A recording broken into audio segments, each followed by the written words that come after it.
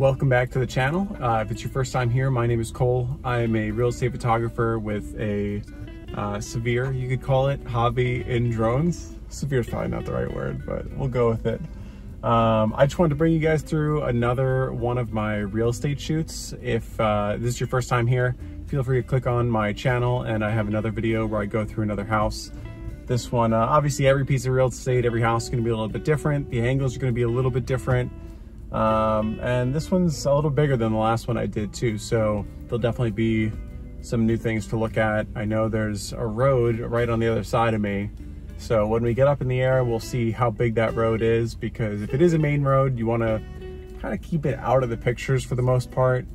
Uh, it really depends on the real estate agent, but when you're buying a house and you see the, this beautiful house that you're looking at is right on a busy road, that's a little bit of a deterrent. So not misleading people, um, but we don't want all the photos to show the road if we can get some that kind of leave it out. So we're gonna get booted up here. And my favorite part of the car, we're gonna launch from the roof again. Now, I had a comment on one of my previous videos that I didn't do enough disclosures regarding flying for profit, flying for real estate. I am Part 107 certified. Uh, in order to fly your drone for any commercial reason, you do need a license.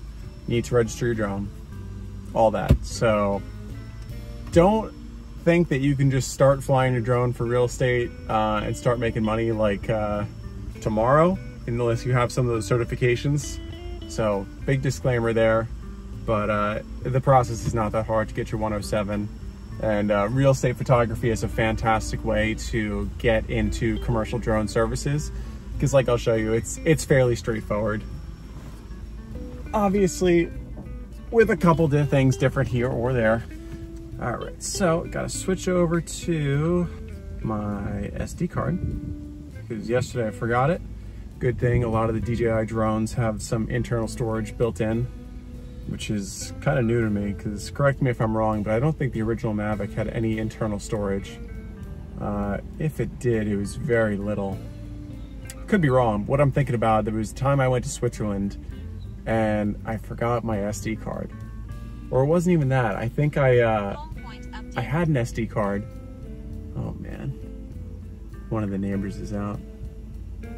The neighbors always get really nervous when, uh, when I fly my drone around. So, oh, she actually might just be a cleaning lady. I think she'll leave me alone. Yeah. All right, now she's just cleaning. We're fine. Um, but yeah, I was in Switzerland and my SD card was full and I was in the most beautiful scenery I've ever seen and I know you guys are probably saying, Cole, why didn't you just delete what was on there? I don't know. I, I think it must have been like equally spectacular footage.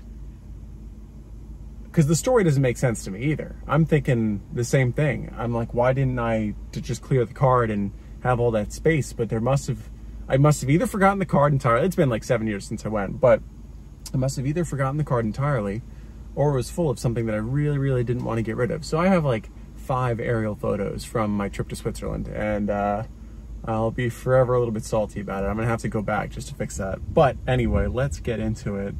So we're gonna make sure, we're just gonna format the card.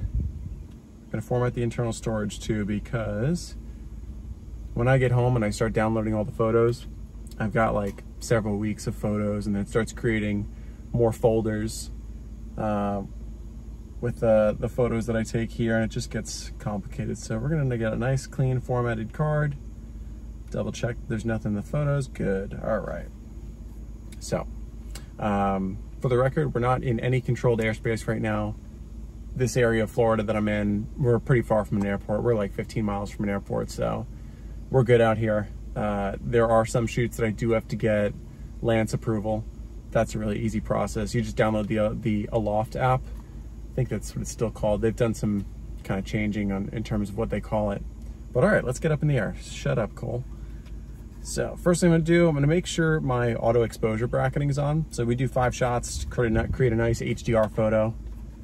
But let's get the drone up in the air and I'll show you guys the property that I'm looking at. All right.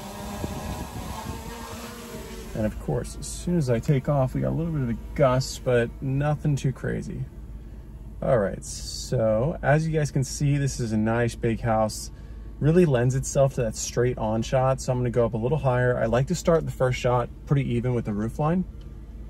You don't want to show too much sky. You really wanna focus on the property itself. You wanna make sure you have the entire roof line um, in the shot. You don't wanna go too close where you're cutting off the corners. You always wanna make sure either the whole property's in the shot, and I'll show you that on the higher shots, or the entire roof line. So the first one looks good. Take that. Now, first one's gonna start at about the roof level, then I usually go up between 40 and 50 feet. If it's a bigger property, I'll probably go up in 50 foot intervals. So I'll have about four photos at the top of the house. Then I'll go around and take one from each angle on the corners, one completely top down shot, and then I'll do the same thing in the back of the house where I started about between 150 and 200 feet, and then I'll kind of drop down in 50 foot increments until Again, I'm just above roof level in the backyard. Um, sometimes I'll include the whole backyard in that last shot. Sometimes I'll really focus on the house. It depends on how long the lot is. If it's a really long lot, I, there's no need for me to include the whole property in every single shot on that tier. Uh, because the at least the top two, if not the top three shots from the back are all gonna show it. So, uh, like I said, we're gonna go up about 50 feet here. I'm gonna do a little visual check, just make sure there's no palm trees around me. Oh my God, I just looked right into the sun. All right, again, we're gonna adjust, make sure there's just a little sliver of the sky showing pretty much the whole property here. Go up again. Gonna get up to about 80 feet here. So you see that road I was talking about? I don't really see a problem with that road. That's really just kind of within this little community. It's not gonna be a heavily trafficked road. Get another one here, making sure that property line's in there. Gonna go up a little more on this one. The lot's not too big. The house is pretty big, but the lot itself doesn't require me to go too high. All right, so I'm gonna flip it into sport mode. That way we can get around these corners a little faster. So I wanna hit this from like a 45 degree angle now, and that's a really nice view of the lake. There's not really a way for me to get this road out of the picture here, so we're really gonna kind of get that from the one in the back, hopefully.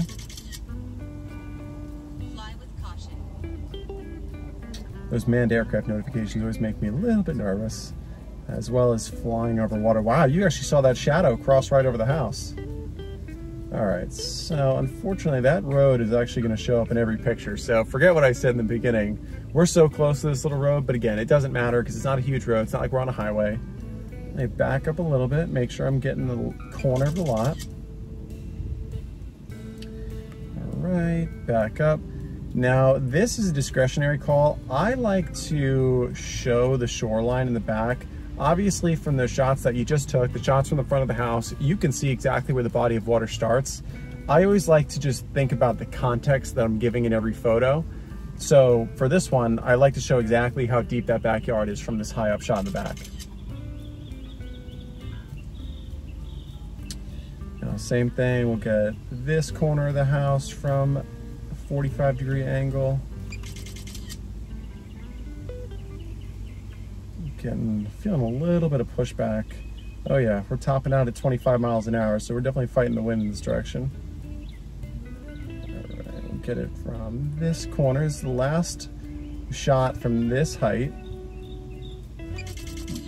Next one I typically do, because it's around the same altitude, is that straight down shot. Um, if you guys notice, that camera just flipped down really fast if you can see it. I'm sure you guys are familiar with DJI remotes for the most part, but that uh, that function button right there, I have that programmed where if I click it once, um, it just flips the camera to the closest or the either the, the, furthest 90 degree angle it is. So it's either gonna be straight out, so I'll click it again, and it'll go to zero degrees, or straight down to 90. So you don't have to deal with the camera just taking forever. You can adjust the speed, but I like how slow it moves when I'm doing videos. So for photography, uh, it's nice to just have the camera be able to flip down quickly like that. All right, so we're gonna lower. Now, ideally, I like to shoot with the bottom of the, the front of the house at the bottom of the picture, but properties like this where by doing that, you're getting a little bit too much of the property next to it, I'll just rotate like this and definitely not a big deal but you want to make sure obviously for this one this one's huge to just understand like the exact shape of the property and where the property line is. So you don't want to cut off anything here. I'll go even a little bit higher. So worst case scenario, I can crop it. So I got that one. Gonna flip the camera back up, move it down a little bit. Now we did those shots before uh, at the top around the 170 mark, 170 feet. So we're gonna go down to like 120 here. This will be technically our second shot of the straight on the back of the house. So we're gonna grab that. Going to drop down to about 60 or 55. Again, keeping the shoreline in and then making sure that you keep in mind like the amount of sky you're showing. Because like I'll show you guys, I used to take it like this, which looks nice from um, just like a photogenic perspective because you can see it meets the rule of thirds requirement. Uh, if, if you guys can see, I have the grid lines for the rule of thirds on my screen.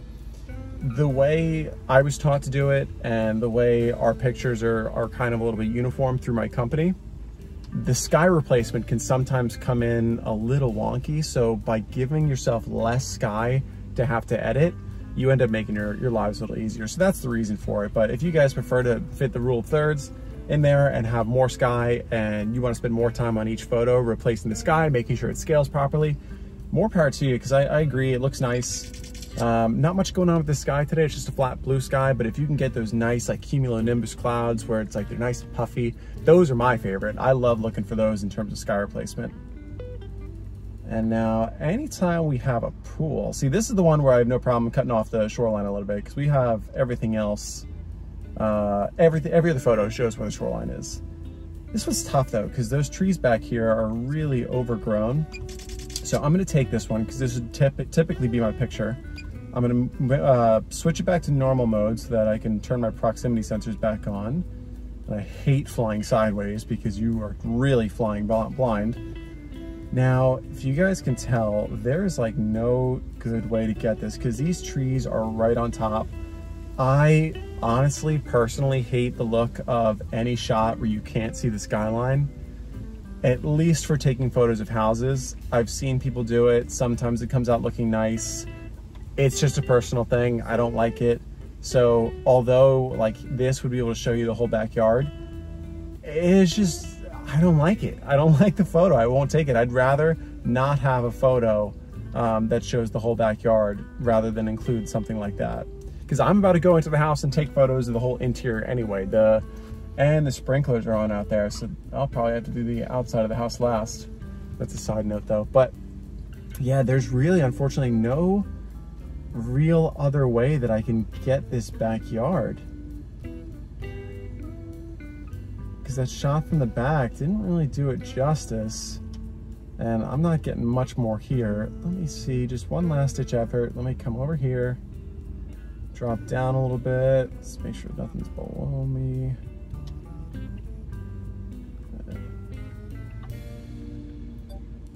All right. Yeah, it's not good. I don't like it. This is really not a good picture. I'll take it. Back up a little bit. I'm gonna take it just to have it, but I am almost definitely gonna end up deleting this later. But it doesn't hurt to take the photo. So yeah, that's it. I got all my shots, got the top down one. The top down one is the one I've forgotten a couple times. Um, that's a beautiful house right here. I wish I was taking pictures of this one. But that is pretty much it. I'm trying to think I have any final comments. Let me land this thing and then I'll be right back.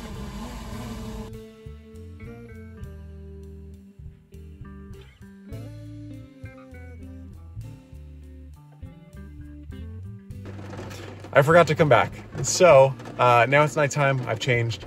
But uh, I do want to recap the flight, go over some last minute things that I think would be really helpful for you guys to know. Uh, and just mostly reminders. I've kind of said it throughout the course of the video, but I want to give a nice little summation of the more important points. So just to clarify something, when I fly from my car, it doesn't look like I'm always looking at the drone, which I'm not. But the, the rule as I interpret it, and I think as it's meant to be interpreted, is the visual line of sight is you have to be able to see the drone you obviously can't be looking at the drone the whole time because that defeats the, the purpose of having a controller and having a screen in front of you. Um, so pretty much at any point, I should be able to look out my window and find the drone, um, except for a few instances where I'll be behind a tree or maybe those last couple shots behind the house. The, the time between when I can't see the drone is very short. Um, next, definitely check your airspace clearances before attempting to do any of this in your area. Some of you guys might live closer to an airport than you think. And then obviously have your Part 107.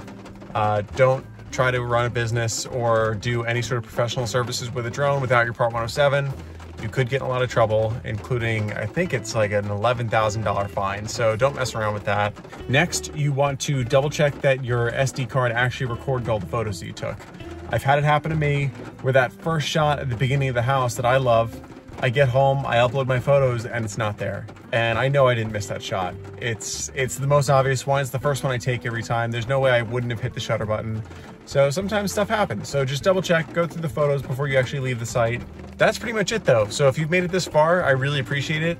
It does mean a lot to me that you guys actually get something out of these videos and when you leave comments asking me questions or telling me that you learned something, that means a lot. I love that. So uh, do me a huge favor, consider subscribing. I will be making more videos like this. Right now, I'm on kind of like a once a month kind of schedule with these videos. I'll try to put out shorts more often. Um, I do want to up my quantity of videos being put out though. I want to get to at minimum once every two weeks. So subscribe, doesn't hurt you, it helps me. All right, if you guys have any questions, definitely hit me up in the comments. Thanks for watching.